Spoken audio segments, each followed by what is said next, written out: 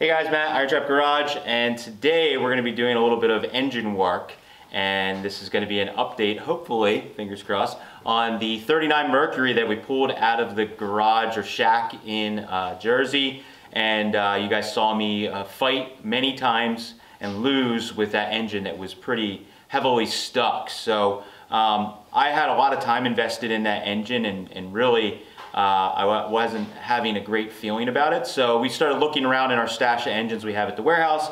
We had a really good candidate that um, I bought with a bunch of other stuff and um, thought would be a good engine. So what we did was we worked on getting this thing put together with a good distributor that we, we keep to run the engines and, and different stuff and a carb and we hooked it up on the run stand and it fired up almost instantly and ran and proceeded to smoke the whole entire shop out, which was fun. Um, all right.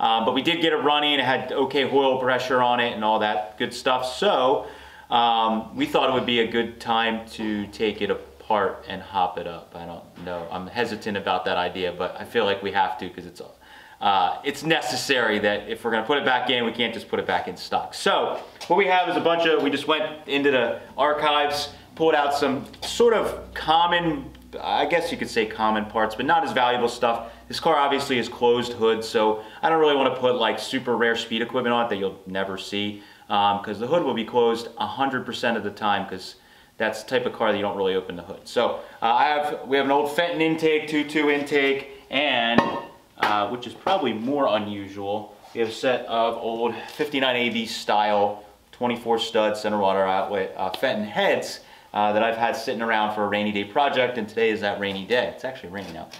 Um, we also have a Winfield cam I think we grabbed yes, from the stash.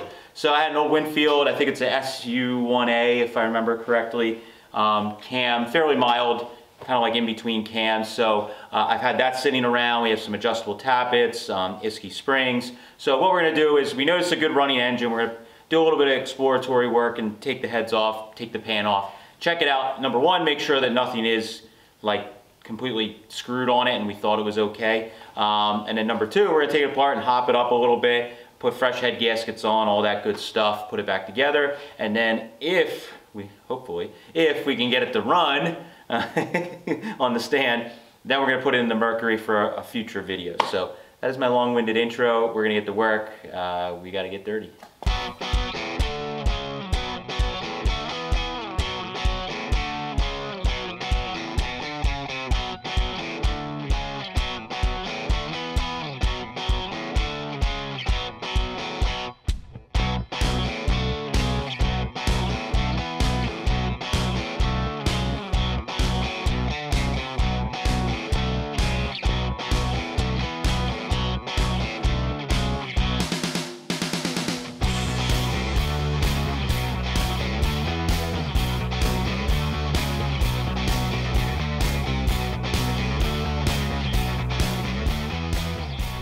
So, this thing has definitely been uh, gone through, maybe rebuilt at some point in its life. It's got adjustable tappets already in it.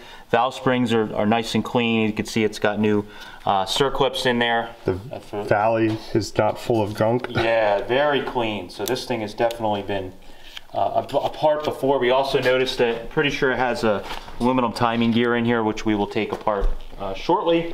Um, we got all the head bolts off, so we're gonna tap on the heads and try and get them off and then we can take a look and see what the bore looks like and the valves and all that stuff. The cam, the stamping on the front of the cam looks like it's just a stock stamp so I don't think it's, it didn't sound like it had any kind of cam in it. So with these a lot of times if what I like to do, if it's an iron head, um, I like to just tap on the corners with a hammer. Obviously if you have aluminum heads you don't want to do that. And if you have an engine that hasn't been sitting outside for 110 years,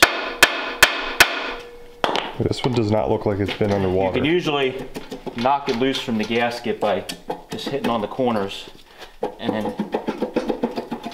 wiggle it off. So we'll see.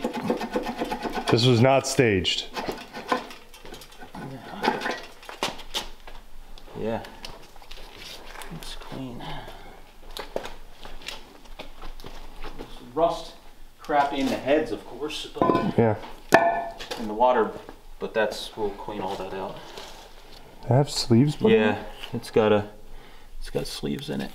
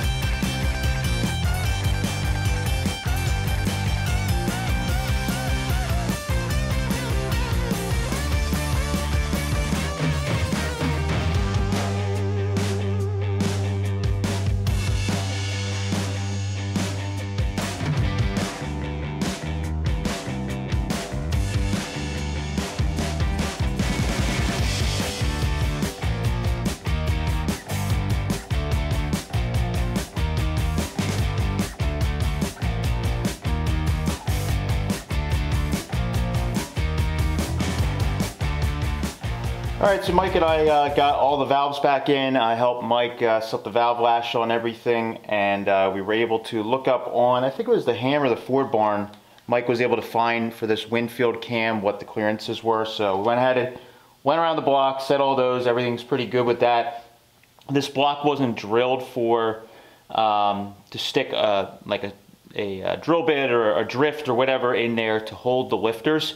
So a couple of them, they were a little difficult with the tool. We ended up having to take the valve in and out, the valve assembly in and out a couple times to get really, really close. And then Mike was able to adjust it the last little bit uh, in the engine. But uh, when everything's all nice and lubed and, and easy to take apart, you have a helper. It's really pretty quick to take that circlip out and take the whole valve assembly out um, to take the lifter out and rather than fighting with it all the time. So what I'm working on is further cleaning out this block. Um, anytime you get an old flathead, even ones that have been rebuilt, but by a, I don't want to say backyard rebuild, um, but some of the older rebuilds or even stuff that you see that, you know, uh, a guy rebuilds them down the street, he may not bake the blocks all the way out or fully flush them out. And even when you do do that, it's very difficult to get into like these little um, nooks and crannies that are in the bottom of the block. There's a little area where um, basically water could still sit and rust forms and, and it becomes a problem. So I found that it's best to use compressed air. Um, you could flush it out with water, which we're going to do once we get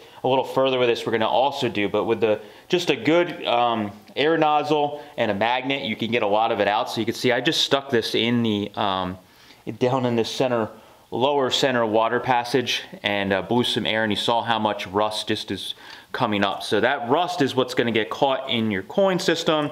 It's going to block your radiator and I see people all the time um, that are on the different groups and stuff um, going on and on how they have to have an aluminum radiator and this and that. Honestly, if you have a block that's that's cleaned out good and you have a good radiator that isn't blocked, um, or plugged, uh, you should be fine with a normal radiator, you know, an old radiator, a brass or copper uh, type radiator. So um, a lot of times it's just that the, all the crap in the block will plug your radiator. And I don't care if it's aluminum or copper or what it is, it's still not gonna work well. So, I do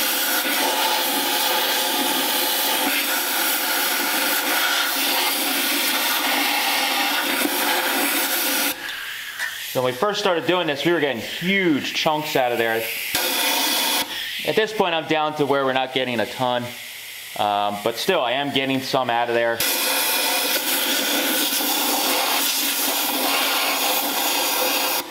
This was a block that we were, you know, that was totally disassembled, getting rebuilt um, from the ground up, you know, this would be a different story. But since this is a good running engine, we're trying to just um, clean up and regasket and put some new parts on. Um, we don't have the ability to do that. So this is the only option really.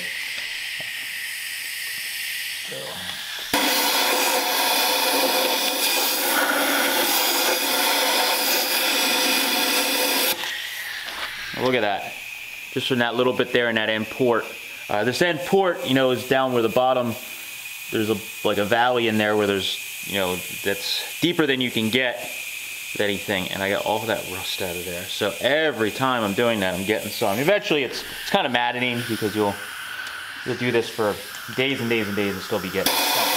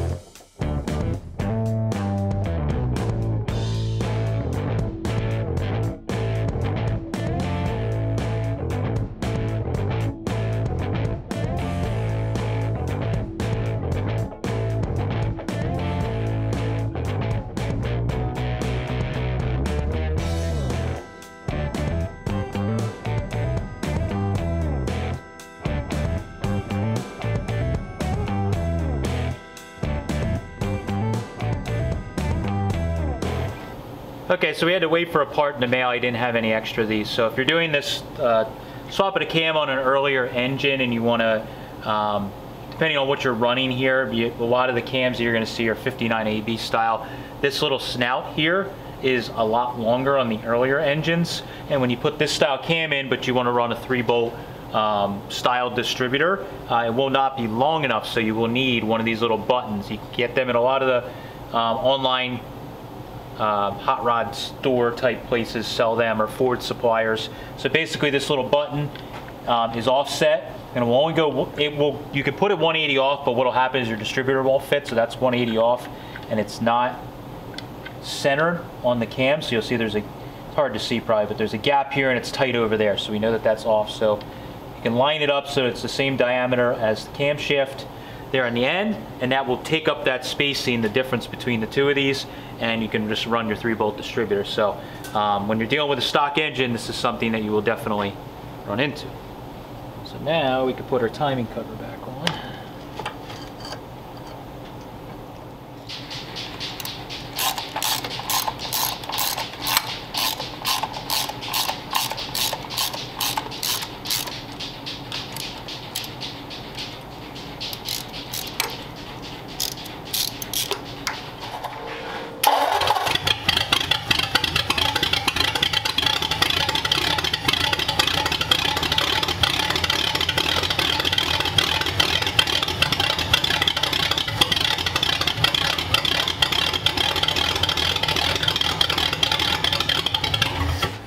Needs more throttle. I think it needs more throttle.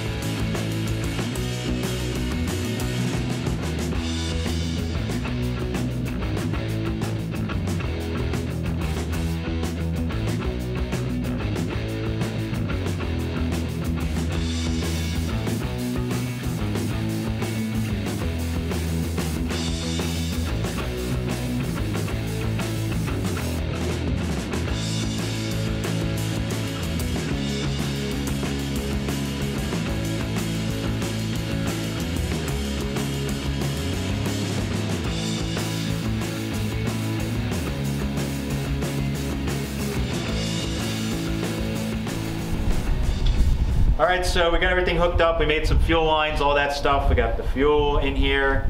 Um, typical Stromberg stuff we're working on with the needle and seat and making sure everything stops leaking. So that will probably be a battle. Um, and we have just our mock-up distributor hooked up for now that we ran it on before. So we're gonna just make see if we can get this thing to run idle for a little bit. We don't have the radiator on yet. And then if we can hear it make some noise, then we can go a little further.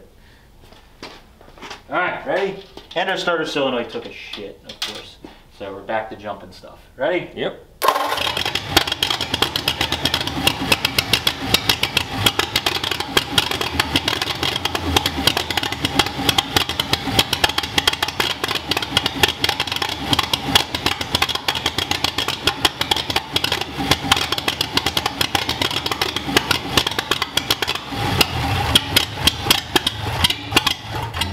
All right. We made noise. Yes.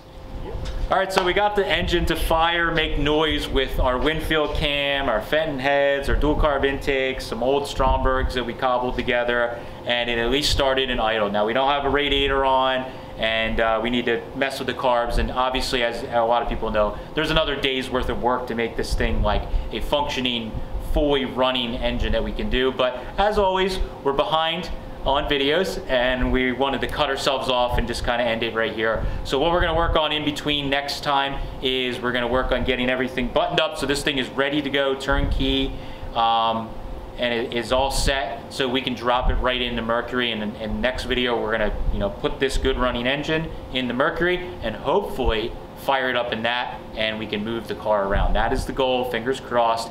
Um, but we have a lot of work to do in between then, and of course we got to pull out that old engine and all that stuff. So, um, but this is great. We have a cool hopped up engine. I'm really excited about it. It's going to be awesome to see this down in the engine bay of the Mercury, and uh, I can't wait to drive that thing. So this is a small step, but it is a uh, it's going to be a huge one once we get that thing running. So thank you guys for following along. Really appreciate it, and uh, we'll catch you next time. See ya.